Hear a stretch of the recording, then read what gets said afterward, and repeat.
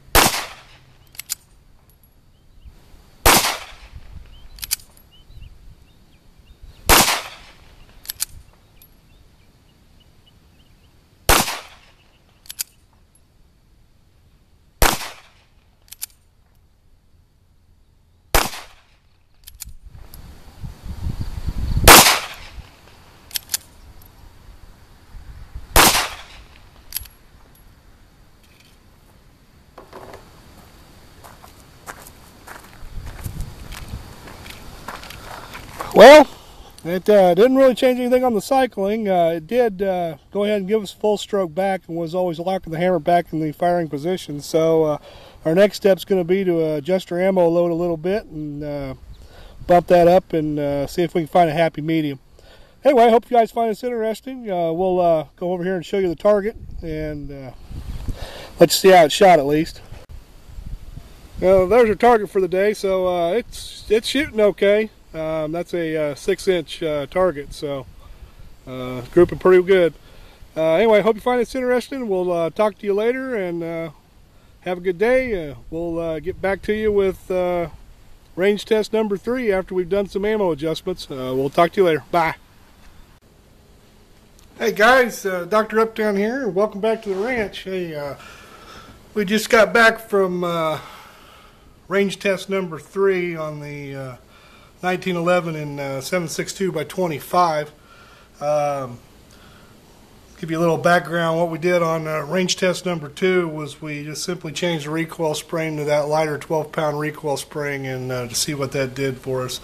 And uh, as you saw, it uh, really didn't change much. What I did get is I did get a little bit more rearward travel on the slide. I was locking the hammer back uh, with every round. It just still wasn't enough to eject the round out. so we came back uh, came back to the ranch and uh, got the uh, reloading equipment out. Uh, bumped our uh, our load up on our uh, on our rounds to 6.9 grains. Um, if you if you remember, the original round measured out at 1.32 inches, and we shortened that down to 1.28 and uh, reduce the uh, load from 8.6 grains down to 6 and uh, that 6 grains just didn't have enough power so uh, we boosted that up to uh, 6.9 grains with this lighter spring. And uh, got much better results following this. You'll be able to watch range test number 3 and see how it did. Um, did want to welcome uh, all the new subscribers. I've got uh, quite a few lately. Had a couple shout outs, one from uh, the Armory channel and uh, one from the Armory Guild. Uh, you know, you guys, uh, you guys know how they are. They're great channels to watch. really appreciate the shout outs from them. Um, and we'll keep trying to give you guys some interesting videos to watch. We do have some stuff coming up here pretty quick. I've got another gun that should be in this next week, another handgun on the way.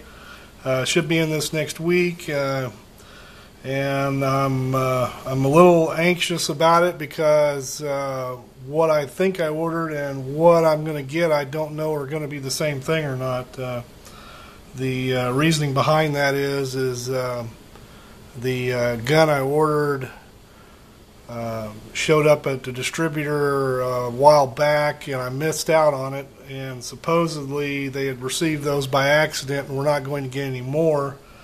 But I uh, went ahead and put an order in for one, and they told me it'd be about a week or two. Well, it was about a month, and uh, they just called me up last week and uh, said they had gotten some in, and uh, did I was I still interested? And I told them I sure certainly was. So anyway, uh, some of the people who uh, stay in contact with that distributor had called them back after I said that I had mine ordered, and uh, one of the other people there said that no, they weren't getting any more of those. That uh, they had gotten those by accident, and and uh, they weren't going to get any more of them. So. uh, I'm a little anxious to see what actually shows up and whether it's the right gun or not. If it is, uh, I'm going to certainly have a video out on it as quick as I can make it. If it's uh, not, I'm not sure what I'm going to do. I guess I'll see what shows up and uh, figure out from there. But uh, I'll keep you guys up to date on it. But I'm pretty excited about it. I really do hope that uh, what I ordered is uh, what shows up. Anyway, that's about all I got for you right now. Go ahead and enjoy range test number three. We'll talk to you later. You guys have a good day. Bye. All right, guys, we're out on range test number three.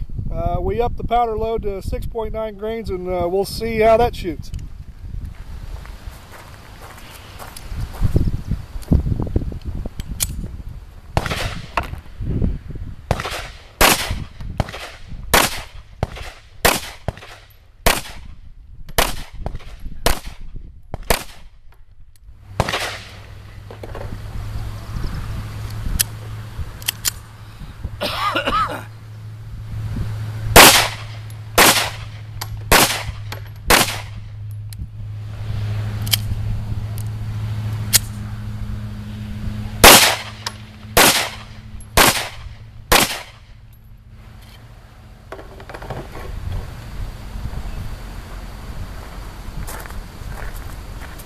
Yeah, shooting all right. We uh, had one bad round, didn't go off. That's the way it goes. Oh yeah, you'll get one one time. And there's your target. I uh, hope you guys find this interesting. We'll talk to you later. Have a good day.